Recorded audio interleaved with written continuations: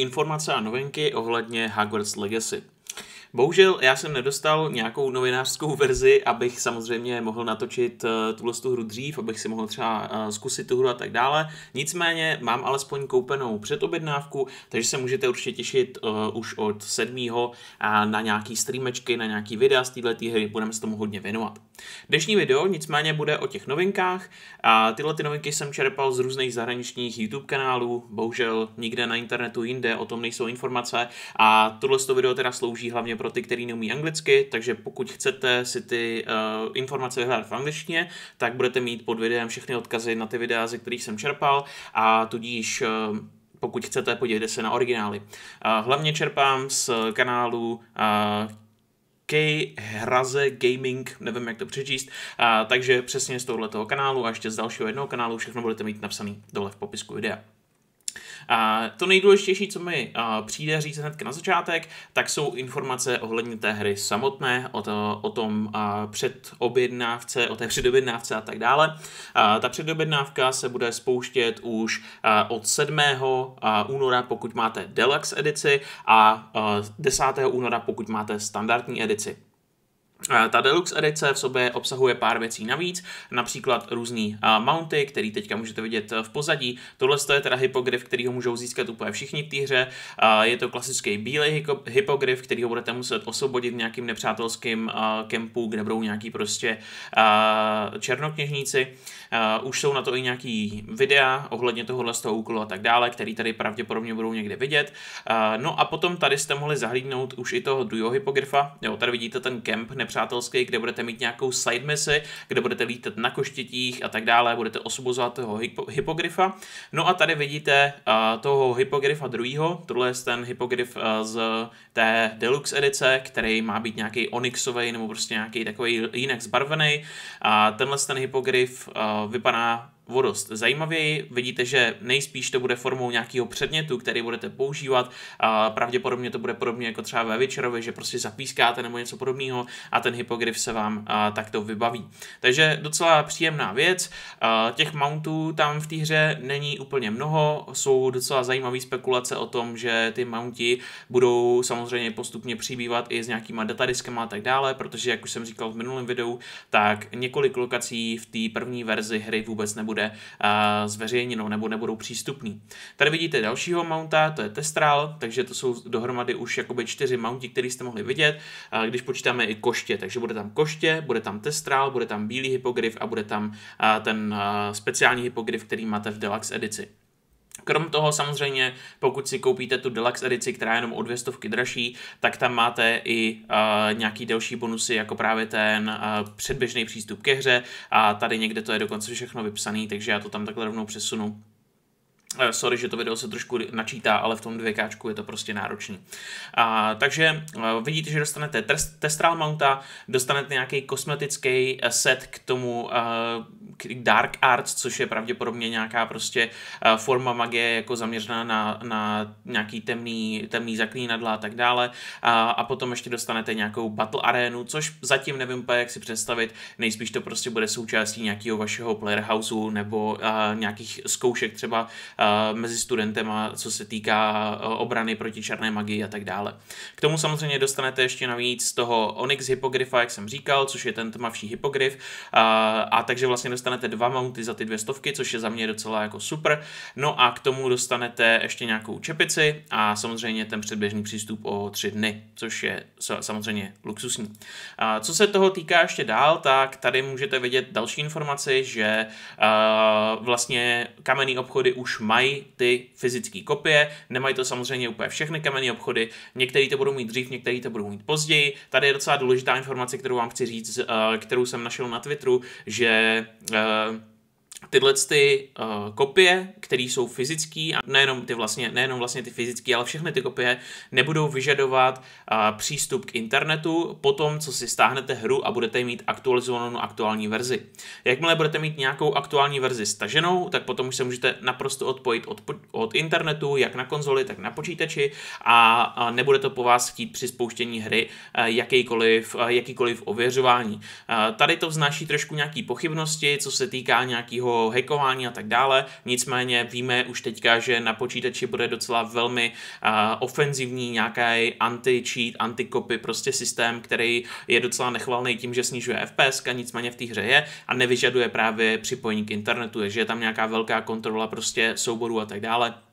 Uh, takže uh, je tohle to docela důležitá informace z toho pohledu, že uh, se spekuluje na internetu, že teoreticky, pokud tu lokální kopii dostanete dřív, už před, toho, před tím třeba sedmým z nějakého lokálního obchodu, nějaký třeba dražší předobjednávky a tak dále, tak jsou jistý spekulace, že budete moct hrát jakoby už v tu chvíli, kdy si tu hru přinesete domů, takže teoreticky i dokonce dřív než před tím sedmým. Tady o tomhle si myslím, že to je trošku bullshit, že bych tomu moc nevěřil, že to budete moct hrát nějak extra dřív, ale je to možný, protože pokud to prostě neuvěřuje přes internet nějakou věc, tak patrně asi to možný je.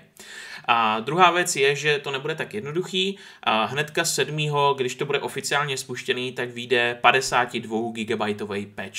Je to day one patch, což je docela standardní věc, která do her přichází, protože když vyjdou ty fyzické kopie, tak ty fyzické kopie dostanou nějaký novináři a tak dále. Já vám tady pustím to video do pozadí a, a ty novináři samozřejmě mají k těm hrám přístup dřív kvůli nějakému hodnocení, k nějakému i feedbacku a tak dále a tak dále, aby mohli vytvořit nějaký skorečko, aby právě hráči věděli už day one, jaká ta hra zhruba, jak si vede podle e, třeba novinářů, podle nějakých profesionálních gamerů, podle nějakých třeba velkých youtuberů a tak dále, takže tyhle ty lidi prostě dostanou právě ty fyzické kopie, aby si tu hru mohli zahrát na, na základě nějakých jejich feedbacků a referencí a tak dále většinou vzniká nějaký day one patch, protože samozřejmě a, ty vývojáři a ty testři přehlídnou spoustu věcí, no a na základě tohohle a, se generuje nějaký právě patch.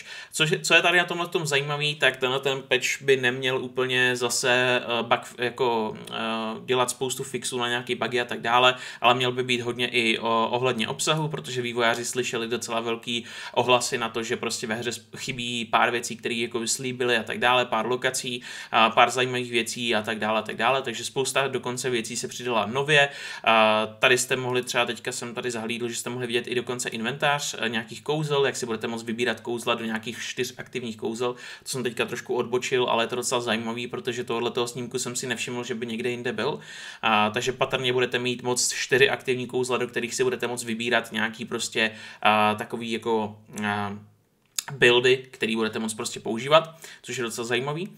A, no a abych se vrátil ještě k tomu, abych se ještě vrátil k tomu, o čem jsem mluvil, a, tak uh, je prostě dost pravděpodobný, že tu hru si stáhnete a už s tím day one patchem, pokud toho sedmého to vyjde, ale je samozřejmě i možný, že si to prvně stáhnete a ten day one patch prostě u nás v Česku vyjde třeba později a budete to muset prostě stáhnout jakoby znova. Což se jako se docela dost často stává, stalo se to třeba v několika hrách, třeba v Falloutu 76, stalo Stalo se to uh, i tuším v Elden Ringu a v dalších prostě velkých titulech. Občas to prostě takhle děje, tyhle ty day one patche. Takže jenom s tím jako počítejte, že budete možná muset stahovat daleko víc věcí, než kolik si myslíte. Pojďme teďka přeskočit dál, mám tady nějaké informace ještě ohledně té mapy, minule jsme se v tom videu věnovali mapy a tak dále, dneska tady máme taky nějaké věci, které se toho týkají, například tady jsou nějaké informace ohledně sezón, pokud to nevíte, tak ve hře se budou samozřejmě normálně měnit sezóny podle toho, jak ve hře budete progresovat, takže nebude to tím, že ve hře strávíte třeba 30 dní a budete avkovat, tak se najednou začne sněžit a tak dále, ne, bude to udělaný podle main uh, story, jakoby liney, jak budete progresovat v té v hlavní questové linii, a tak se bude prostě měnit to počasí. To znamená, že ve hře bude třeba pořád slunko, pokud nebudete pokračovat v hlavní questové linii. Ono nebudete mít moc na výběr, protože side questů tam zase nebude tolik a, a hlavně nebudou třeba tak extrémně důležitý pro jakoby tu kampaň. Sidequesty budou hlavně sloužit pro odemykání kouzel a tak dále, což je potvrzeno a bude to sloužit k, potom k vyřešení různých Merlinových záhad, což jsou právě puzzly, kterých má být ve hře až 100 a jsou to puzzly, které uh, budou rozmístěny všude možně po krajině a po hradě a budete je moct řešit pomocí právě speciálních kouzel. Uh, to myslím, že i někde tady vidět, takže to tady přepnu dál někde, uh, kde právě třeba je ukázaný Aha, tady máme zrovna reklamu, tak to je parádička, to mám radost. YouTube. Klasika. A to tady je i právě vidět, že když přijdete k nějakému puzzlu, tak máte třeba nějaký specifický kouzlo, který musíte použít, abyste právě třeba ten puzzle vyřešili. A musíte mít třeba nějaký právě tady kouzlo na revealnutí nějakých hádanek, a nebo potom později tam třeba ukazuje, že má nějakou sochu a musí do ní narvat prostě nějaký ohnivou kouli, aby se rozsvítila prostě nějaká lucerna a to, ta puzzle se jakoby vyřešila. Takže většina těch kouzel bude nějakým způsobem řešená takhle. Co je tam ještě zajímavý, tak spousta z těch puzzlů bude mít dokonce i nějaký požadavek na nějaký odemknutí, takže některé puzzle budou prostě vyloženě uh, mít jakoby nějakou cenu, dá se říct, eh, nebo nějakou, hm, no jakoby cenovku, za kterou budete muset jakoby odemknout si třeba nějaký puzzle, uh, takže budete muset třeba sbírat nějaký specifický rostliny, viděl jsem, že nějaký listy tam budete muset sbírat a odemykat si nějaký puzzle pomocí listů, uh, abyste se k ním vůbec dostali a tak dále, a tak dále. Takže bude tam jakoby ty, spousta z těch puzzlů bude jakoby zamčená a nebudete se k ním moc dostat třeba na začátku hry a tak dále. A spousta věcí, co se týká těchto těch jakoby uzamčených věcí, tak je tam i vidět někde dál. Já tady přepnu na nějaký další videjko, který jsem tady viděl od tohle z toho kanálu Superb Rebel, který tady ukazuje taky spoustu zajímavých věcí.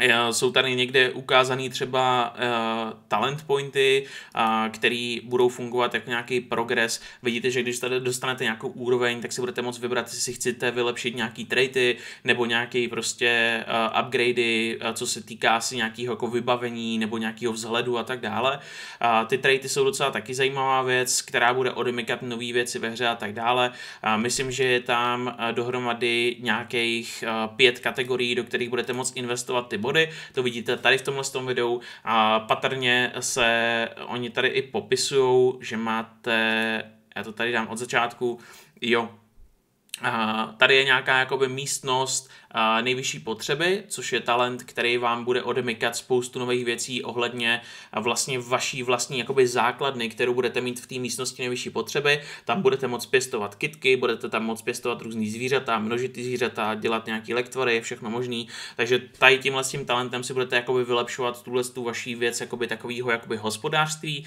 Potom tady máte talent kartu, která vylepšuje stealth akci, což budou různý jakoby sneaky ataky, neviditelnost a plížení. Neviditelnost je taky docela zajímavá v této hře, budete mít nějaké lahvičky, se kterými se můžete jakoby zneviditelňovat ze začátku, později budete moct získat i nějaký speciální kouzlo, potenciálně i třeba plášť neviditelnosti a podobné další věci. Neviditelnost je docela důležitá v této hře, je tam celá stealth mechanika a některé mise budete moct dokončit přímo ve stealthu.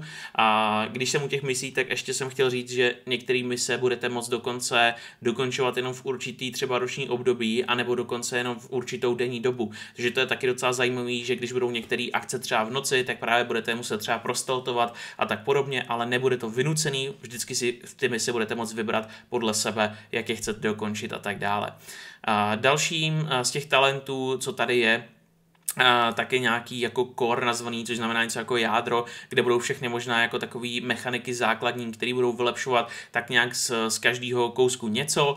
A potom je tady nejspíš nějaká temná magie, právě nějaký ty dark arts, nějaká ta jakoby premisa té hry je o tom, že vy jste nějaký speciálně nadaný talent uh, na nějaký užívání nějakých temných uh, starodávných magií, který už nikdo jako nezná, takže patrně tohle to budou nějaký ty dark arts a nějaký ty temné magie a tohle to bude patrně obrana proti čer černé magii, což tady už není potom znázorněný, protože spousta z těch záběrů, které jsou na internetu, tak mají nějaké limity a, a spousta z těch věcí nebylo umožněný těm autorům, aby vlastně nahrávali, takže tohle to všechno je zatím takový jako dohadování, jak to bude, co bude a, a tak dále, a tak dále. Když se posuneme někam dál, tak tady jsou ještě docela taky zajímavé věci ohledně to jsem ještě mohl říct na začátek, když jsem mluvil o té mapě, ale na to, na to jsem zapomněl, že uh, ta mapa skutečně, jak jsem říkal v minulém videu, nebude zas tak uh, open world a nebude tak, uh, um, nebude tak umožňovat takovou velkou exploraci, jak jsme si mysleli. A hlavně ty mounty a tak dále budou docela dost omezený, protože jak vidíte, tak on tady letí na koštěti a, a najednou prostě on tady nemůže nikde přistát. Uh, je to udělaný právě na schvál, že vy budete moct přistát jenom na nějakých prostě větších plochách a tak dále. Nebudete třeba schopný přistát někde na nějaký střeše nějakého zámku a tak dále, nebudete třeba schopný uh, třeba takhle v nějakém podchodu přistát a podobné věci, nebudete si schopný třeba zkracovat cestu do hradu, budete muset všechno prostě zdlouhavě obcházet přes nějaký lokace. A to je způsobený i tím, že spousta z těch lokací se bude jakoby preloadovat, takže pokud budete mít nějakou horší konzoli nebo horší počítač a vždycky takhle dojdete k nějakým dveřím, tak tady to možná bude na chvilku vidět, Uh, jo, on to zrovna vystříhl, ale když přijdete k nějakým dveřím, tak uh, ta hra se na chvilku zasekne, objeví se tam takový uh, kolečka načítání a až po chvíli, až se tam načte ta lokace, která je za těma dveřma má, tak se vám na těch dveřích objeví vstoupit a dřív to tam nebude. Takže dokud se vám ta lokace ne, ne, jakoby nenačte, tak vy do té lokace ani nemůžete. Tudíž to objevování toho světa je takový docela omezený, je to prej z důvodu toho, aby to všechno vypadalo graficky nádherně, aby to bylo skvělý, ale samozřejmě záleží, jak moc to bude zase omezující. Tady třeba vidíte, že tady je docela poměrně velká jeskyně a on tam prostě nemůže vletět na koštěti, protože ho to tam prostě neumožní vletět a on prostě musí jakoby vletět do vody, to koště zmizí, což je takový taky docela hodně divný a potom tam musí prostě proplavat. Takže spousta z těch věcí je taková dost jako divná a hodně lidí si na to stěžuje. A co se týká nějakých stížností, protože samozřejmě eh, ta hra není jenom dobrá, ale má i spoustu nějakých už chyb, co se ví, je třeba právě ovládání postavy a tak dále, na co si stěžuje hodně vývoja, eh, hodně novinářů a tak dále, kteří říkají, že to není úplně tak jakoby dolazený, jak by to mohlo být a spousta věcí se tam dělá dost podivně. To se týká i některých kouzel, protože u některých kouzel si prej nemůžete vybrat třeba, eh, co to kouzlo udělá, takže když máte třeba například kouzlo, který třeba odzbrojí, tak jednou toho člověka odzbrojí, ale po druhý to do něj vyšlehne takový ten blesk, jako, jak se prostě bojoval třeba Voldemort s Harry Potterem. A, a takovýhle kouzel je tam celkem víc. A právě vy jste jakoby student nějakých právě, eh, nebo máte ten talent ovládání nějaký ty temný starodávný magie. A dost často se právě stává, že když použijete něco jako ultimátní spell, což vidíte tady vpravo dole, že vy máte nějaký čtyři hlavní spely a pak máte nějaký jako jednou za čas nějaký ultimátní spell, a, tak ten ultimátní spell má jakoby náhodný efekty. Jednou prostě vašeho nepřítele promění v kuře, po druhý ho rozmetá na kousíčky, po třetí do něj uhodí blesk, který ho úplně jako zhoří na popel a tak dále a tak dále. A co je prej nejhorší, tak je to, že Lorově tam jsou docela v tomhle chyby, protože uh, protože prej, eh, když třeba někoho... A tady jste viděli to načítání, to vám ještě na chvilku zvrátím, to vám ještě na chvilku vrátím. A teďka to tady bude, podívejte se, tady je to načítání. Na dobrých počítačích a na dobrých konzolích je to prej chvilka, ale samozřejmě na PS4 a horších prostě počítačích to bude trvat docela dost dlouho. Takže to je docela taky dost zajímavý. No a co jsem chtěl říct těm temným magím, takže tam je docela taková lorová chyba prej údajně, co říkají novináři, že vlastně vy, když někoho zabijete pomocí uh, Avara Kedavra, uh, tak na to všichni v té hře jako uh, zareagují ty postavy a sníží se vám jako nějaká reputace a všichni jsou jako proti vám třeba a tak dále, že to jako neměli dělat a tak dále, ale když prostě někoho rozmetáte bleskem, nebo ho někde upálíte, nebo ho prostě probodnete mečem a je úplně zcela jasný, že ho jako zabijete, a, a nebo právě používáte tu temnou magii, která má jako v 90% nějaký jako smrtelný efekt, tak to vůbec nikomu nevadí v té hře. Takže je to prej jako dost jako divný, že vlastně jste jako student, máte, jste třeba jako za nebelvír, ale pořád prostě ta hra se k vám chová, jakože vám jako povoluje prostě v podstatě zabíjet lidi. Těchto těch kontroverzí v té hře je celkem hodně, objevuje se jich celkem dost a na Twitteru se to celkem teďka rozmáhá i v rámci nějaký jako LGBT zase věcí a tak dále a, a tady těchto těch jako a, věcí, do kterých bych se nechtěl pouštět, ale jedna z věcí, která tam je, že prej není úplně nějak extra moc a, možností si vytvořit postavu, takže tam asi nebudou úplně nějaký extra nastavení pro nějaký právě ty LGBT komunity a tak dále. A druhou věcí, která je celkem kontroverzní, tak právě tam už ukazovali, že když tam máte ty trpajzlíky, co prostě va, eh, ty skřety, co třeba vaří jako, mm, nebo se starají o ty různé rodiny, jako ty sluhové, ty otroci, tak tam prej ve hře na něm jako můžete třeba flusat nebo do nich kopat a tak dále, tak dále, což jako nevím, ne, ne, neříkám jako, že to je pravda, ale objevily se nějaký koláž na internetu, ne, nebo nevím, jestli to byly koláže nebo screeny ze hry, je to možný, a ono to tak jako by lorově je, že oni to jsou otraci a ty vizardi se k ním chovají jako otrokům, ale samozřejmě se toho chytlo spousta lidí, kteří říkají, že to je samozřejmě jako znázornění nějakého jako otroctví a tak dále, tak dále, což jakoby, uh, já bych řekl, že takováhle hra by k tomu měla mít jako pás, protože prostě je to podle lore té hry, ale uh, samozřejmě se to už někdo chytl. A co je ještě zajímavé, tak tady vidíme uh, soubojový systém a tady vidíme uh, idiota z Inizia, kterýho vám nechci pouštět. Uh, nicméně, uh, v tom soubojovém systému ještě taky docela zajímavá věc, prej ohledně difficulty, ohledně obtížnosti hry a tak dále. Vy si při zakládání postavy budete schopni vybrat právě obtížnost té hry. Možná to tady někde bude vidět na začátku u nějakého videa, ale asi spíš ne asi spíš ne. Nicméně vy si budete prostě moct vybrat jakoby obtížnost eh, té hry, budete si moct nastavit, jestli chcete hrát na easy, uh, medium, hard nebo jako nějaký prostě ultra hard, budou tam čtyři úrovně. Uh, všechny ty úrovně by měly mít stejný poškození do nepřítele i do vás, takže to bude jakoby ty soubojové systémy budou velice vyvážený, ale v čem bude se lišit ta úroveň je ta, že budete mít třeba více prostoru na uh, kantrování spelu. Když do vás třeba někdo takhle střílí, tak budete mít jakby mnohem větší interakční dobu, abyste ten uh, spell třeba zablokovali. Uh, takže prej by to mělo být udělané tak, aby ty souboje pořád byly cítit, že jsou jako zasloužený ty výhry a tak dále a samozřejmě to nebude tak jednoduchý ani třeba na tu easy úroveň. Co ale bude easy, tak bude třeba právě to, že na easy úroveň nebudete moc uh, failnout právě třeba ty Merlinovy tásky, takže budete moc dělat dokola, dokola, dokola, což naopak u těch obtížnějších úrovní budete moc failnout a už je třeba nebudete moc opakovat. A další věci, že spousta třeba nějakých závodů na koštěti a tak dále budou mít nějaký timer, třeba na hard úroveň to může být třeba 30 sekund, ale na easy úroveň to může být třeba 2 minuty. Takže právě tak v tomhle tom se bude lišit ta úroveň, která právě v tom jakoby hodně bude hrát tu roli a tak dále. No a to je víceméně asi tak všechno. Těch informací je tam samozřejmě, samozřejmě víc, já vás o tom budu se snažit nějakým způsobem furt ještě informovat, ale hlavně si to chci zahrát. Eh, ty videa, které budu točit, tak se budou hlavně točit ohledně nějakých tutoriálů, ohledně nějakých návodů a samozřejmě, když ta hra vyjde, tak ji budeme primárně hrát, budeme natáčet gameplay, budou nějaký záznamy ze streamu a tady na YouTube, přímo na YouTube, ne na Twitch, ale na YouTube budeme dělat stream uh, právě z Hogwarts Legacy, takže pokud vás to zajímá, určitě nahoďte nějaký odběr, díky za veškerou podporu, sorry, že to video se trošku seká, ale prostě AMD grafiky jsou úplně na nic a nikdy si je nekupujte. No a to je asi všechno. Mějte se skvěle a uvidíme se u dalšího videa. Čigo!